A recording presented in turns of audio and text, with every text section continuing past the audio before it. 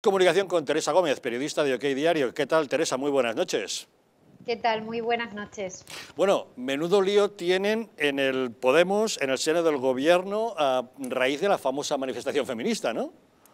Sí, esto es un síntoma más de, la discrepancia que hay entre el gobierno socialista y el gobierno de, Unidas Podemos. Creo que es una, que es una barbaridad que, después de un año, eh, casi el, 8 de, el 13 de marzo, eh, fue cuando se decretó, recordemos, el estado de alarma, después de más de un año en pandemia, porque recordemos que los primeros contagiados fueron eh, antes de marzo, aunque no nos lo quisieron ver hasta mucho más tarde, después de más de 80.000 muertos en España por, esta, por este virus, que llamen a concentrarse cuando justo nos están prohibiendo lo contrario, cuando nos dicen que no podemos estar más de cuatro personas eh, cuatro amigos en una, en una misma mesa, pero sí podemos estar 500 personas eh, con las que no hemos tenido ningún tipo de contacto ni ni siquiera tenemos ninguna relación y no sé si esa persona podría estar contagiada o no, en una manifestación para defender eh, unos, unos, derechos, desprotegiendo los derechos a, a, la salud, ¿no?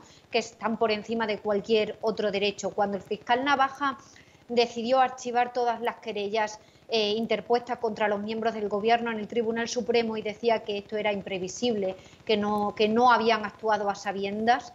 Eh, y que estas querellas ahora se han derivado a, juzgados ordinarios para investigarlo, creo que este es un síntoma más para que estas personas puedan llegar a ser juzgadas eh, y condenadas por promover a, las masas a hacer un acto a sabiendas de que es un perjuicio para todo aquel que vaya a participar. Ayer Simón eh, dio unas duras declaraciones donde comparaba, eh, comparaba una manifestación feminista con, asistir a una ceremonia religiosa, a una procesión. Decía que era mucho más peligroso contagiarse o era mucho más evidente contagiarse en una procesión y no en una manifestación feminista. Yo lo que le diría al señor Simón es que si no nos podemos reunir más de seis personas, cuatro personas, dependiendo de si es en el exterior o no, en una misma mesa, mucho menos podremos asistir a ceremonias donde se aglutina un gran número de personas hasta que no exista un, control de, esta, de este virus que, como bien sabemos, ahora mismo no lo hay. Yo le diría al señor Simón que debajo de un paso de Semana Santa las 40 personas que se meten pueden estar perfectamente controladas, vacunadas, con un test PCR hecho, mientras que las 500 que vayan a la manifestación feminista no. Pero bueno, Teresa, como muy bien recuerdas, la manifestación del año pasado fue una auténtica polémica porque se convirtió en un foco de contagio, pero el gobierno no lo ha querido reconocer en ningún momento. Solamente a Simón se le escapó aquello de, bueno, si hubiéramos aplicado las mías una semana antes, hubiéramos salvado 20.000 vidas, ¿no?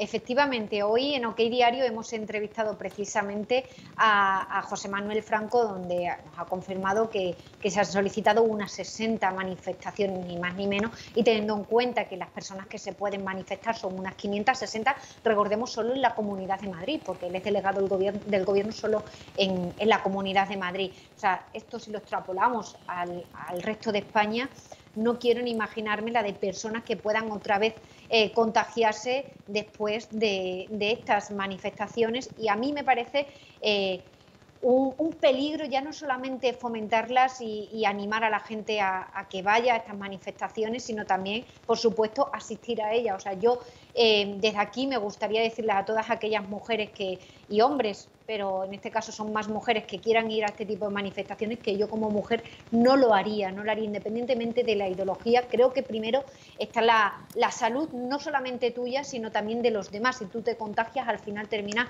contagiando al resto de, personas. Carolina Darias precisamente fue una de las que asistió el año pasado y fue contagiada por, por asistir. Y ahora pues transmite un mensaje que yo lo considero idóneo, que es el, decir que no, que no se que no se manifiesten. Recordemos también que Chenique, que ahora está, está llamando a, la, manifestación, recordemos que el año pasado, justo por esta fecha, decía que bueno, que era, eh, que era más probable que salieses a la calle y te atropellase un coche a contagiarte de, de COVID-19. Pues hemos podido ver como en España ha habido eh, muchísimas personas contagiadas y muchísimos muertos eh, por una pandemia que no se ha querido ni se ha sabido gestionar bien.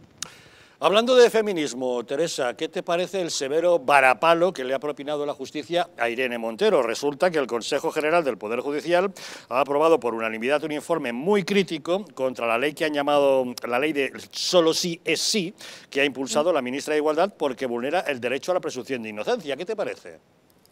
A mí me parece que es un informe, por supuesto, correctísimo por parte del actual Consejo General del Poder Judicial y, por supuesto, eh, igual que en otras causas judiciales tenemos, eh, porque así lo dice la justicia, ¿no? Em, respetamos la presunción de inocencia, también la tenemos que presentar en todos los ámbitos y, no ser injustos y, pues, eh, eh, con respecto a esta ley del sí es solo sí, ¿no?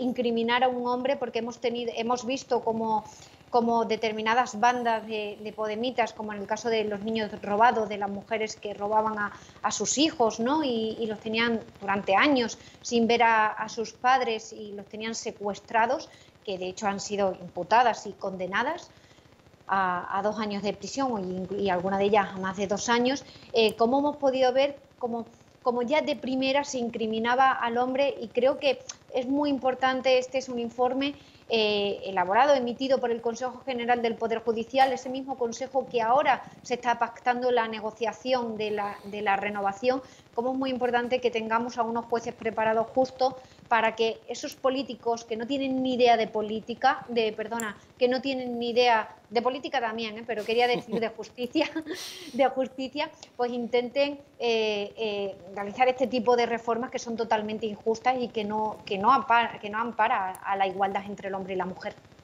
Sí, Teresa, hay un detalle más. No quiero dejar de preguntarte por el caso Niñera, porque la fiscal ha decidido que se abra una pieza separada con respecto al caso de Neurona para investigar a este alto cargo que se dedica a hacer de babysitter para los críos de la ministra, ¿no? Eso es, lo publicamos esta semana en, aquí en OK Diario.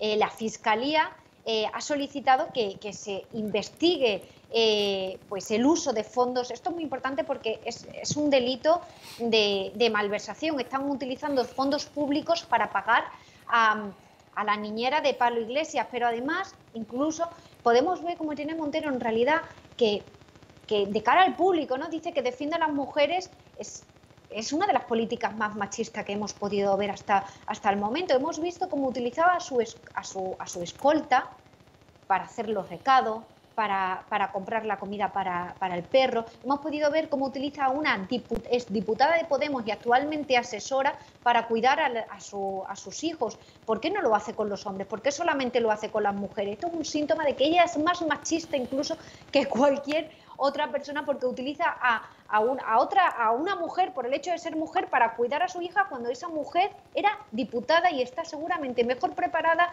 para que ella para, para un cargo en la política. ¿no? Y mm, salvaguardando estas diferencias, ¿no? Eh, el hecho de que utilice un dinero público para, para pagar a una asistenta que realmente la utiliza como cuidadora de sus hijos es un delito, es un delito de, malversación y, por supuesto, tendrá que ser investigado por la justicia. Lo que dice la Fiscalía es que se investigue en una pieza separada porque la pieza que ahora mismo, el procedimiento que ahora mismo investiga el juez Juan José Escalonilla, donde también se investiga el delito de malversación por los pagos, por el desvío de fondos públicos a la consultora chavista Neurona, eh, pues ya tienen muchas eh, vertientes, muchas derivadas y para no eh, crear más complejidad dentro de, ese mismo procedimiento y que se abra una pieza separada no solamente, fíjate, con la niñera, el uso de, fondos públicos para pagar a la niñera de Irene Montero, sino también para el desvío de, de dinero público a asociaciones eh, vinculadas a Podemos. Hemos podido ver cómo Podemos ha desviado más de 300.000 euros a la institución 25M vinculadas a Juan, Carlos Monedero. Esto es una de las cosas que denunció Calvente y también la abogada de Podemos, Mónica Carmona, que la Fiscalía también ha dicho que se investigue. Menudo futuro judicial tienen en Podemos. Seguiremos muy pendientes. Teresa Gómez, periodista de OK Diario, muchísimas gracias por habernos acompañado en Los Intocables. Muchísimas gracias a vosotros por invitarme. Un saludo, hasta luego.